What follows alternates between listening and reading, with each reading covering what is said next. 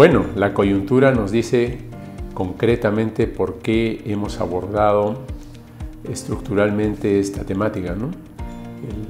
estamos viviendo una crisis política, una crisis del Poder Judicial, una crisis en que los actores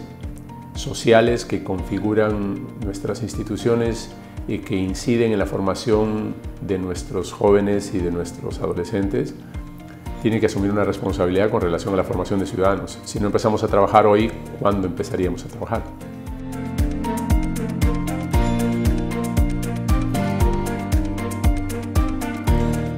Este es un dilema muy antiguo en el que debido a la historia reciente de nuestro país, en un momento determinado el Estado creyó tener el monopolio del diseño de los contenidos que se impartían en los salones de clases, en, el sistema escolar, y por tanto era el Estado el que decidía qué era lo que se enseñaba. Posteriormente la familia fue tomando un rol mucho más importante en la decisión a medida que los padres fueron involucrando mucho más en la educación de sus hijos y conociendo un poco más acerca de esto. Y luego una tercera etapa en que los padres, debido a la carga laboral, debido a la carga de trabajo, como consecuencia de que los dos integrantes de la, los dos representantes máximos de la, de la, familia, que son eh, padre y madre, empezaran a delegarle a los colegios la educación de sus hijos, especialmente la formación de valores y de principios. Entonces, esto ha generado un estado de confusión en el que no se sabe exactamente cuál es el rol de la familia, cuál es el rol de, los colegios y las instituciones educativas y cuál es el rol también de una serie de otras instituciones que ayudan a formar ciudadanía. porque la ciudadanía no solamente se forma en, la casa, no solamente en el colegio, sino también se forma en la calle, se forma ahora con las redes sociales y los medios de comunicación. Y eso nos indica claramente que es momento de conversar y de ir esclareciendo cuáles son los roles complementarios para la formación de ciudadanos para un país sustentable, que es el país que nosotros queremos.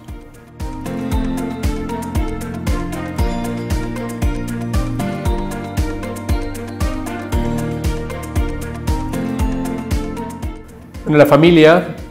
em, y el sistema educativo, especialmente el público, han entrado en beligerancia recientemente porque los padres de familia reclaman a los colegios y al sistema educativo eh, una suerte de permiso para ver qué se les enseña a los hijos en los colegios.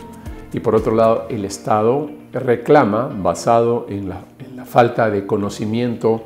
que alegan de los padres de familia, que es el, sistema educativo a través del, ministerio o a través de los, de los colegios que tiene que decidir cuáles son esos contenidos. Claramente lo que sabemos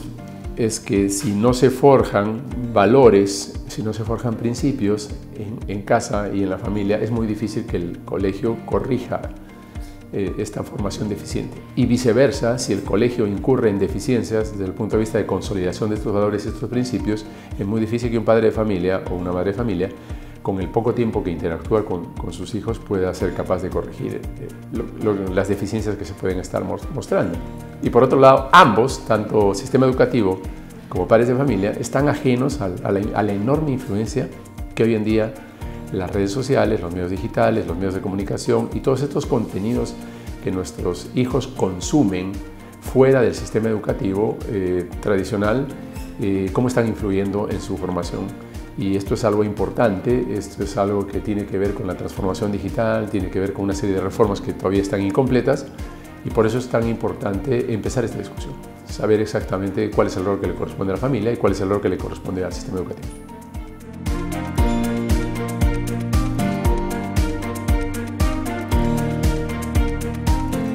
Justamente por lo que mencionábamos al, final de la otra pregunta, mencionábamos que em,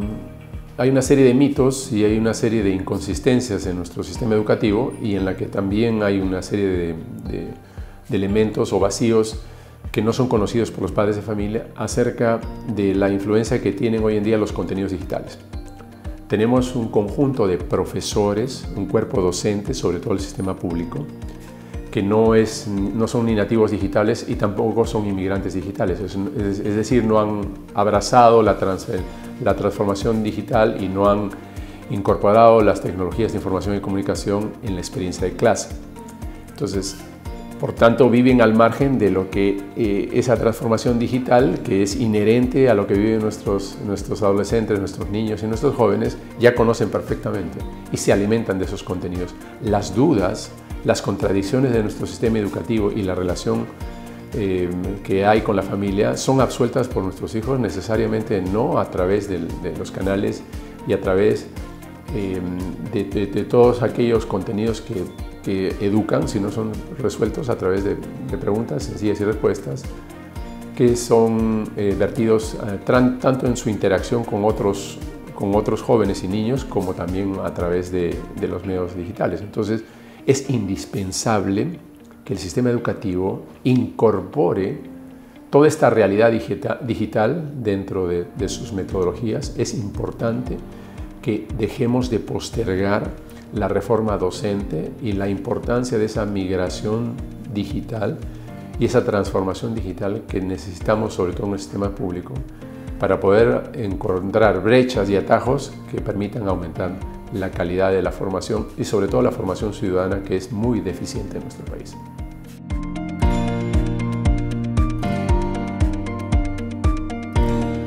Sí, eh, definitivamente los CADES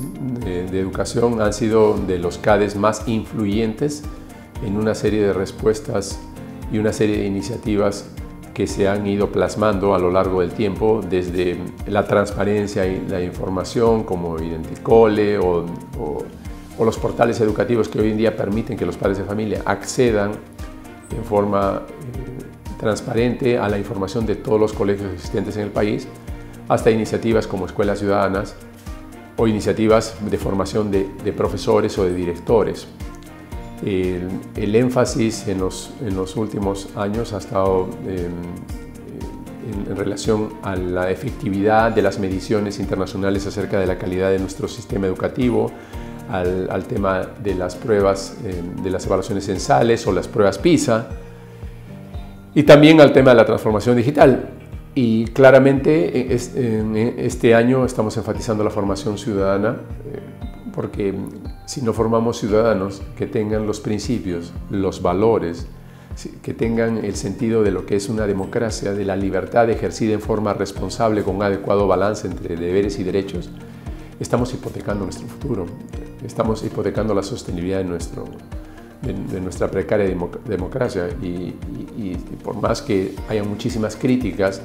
a este sistema, pues lógicamente es el menos malo de todos y, tenemos que fortalecerlo. Y la única manera de fortalecerlo es que además de los adultos que están involucrados en una discusión acerca de cómo debe ser esta democracia,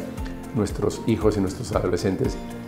crezcan con ese objetivo de fortalecerla a lo largo del tiempo y ser parte de ella, pero no ser parte de ella en una forma pasiva, sino ser parte de ella en una forma de una forma activa, es decir, siendo capaces de respetarse, siendo capaces de dialogar, siendo capaces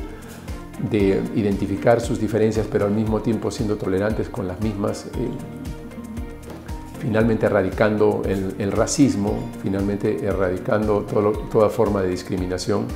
y aprendiendo a trabajar como una sociedad que tiene capital social, que tiene capacidad de colaborar, eh, entre sus integrantes para construir todas aquellas cosas y todos aquellos objetivos que hasta ahora no hemos sido capaces de construir en nuestras presentes generaciones. Solamente hacer una invocación a los medios de comunicación para que reflexionen acerca del rol tan importante que les corresponde. Y si es verdad que ciertos contenidos de carácter alarmista, de carácter amarillista, o ciertos contenidos que pueden ser muy atractivos para los jóvenes hoy en día, pueden utilizarse para vender y para tener más rating, tenemos que ser también conscientes que es nuestra responsabilidad formar ciudadanos, formar valores y formar principios y que todos somos partícipes en esa tarea. No solamente los medios de comunicación, no solamente los colegios, no solamente las universidades y los institutos y no solamente el, el Ministerio de Educación y los padres de familia, todos y cada uno de los ciudadanos, todas y cada una de nuestras instituciones, incluyendo empresas, incluyendo respectivos poderes del Estado, tenemos un rol fundamental en la formación ciudadana y tenemos que trabajar con mucho ahínco para lograr una sociedad mejor.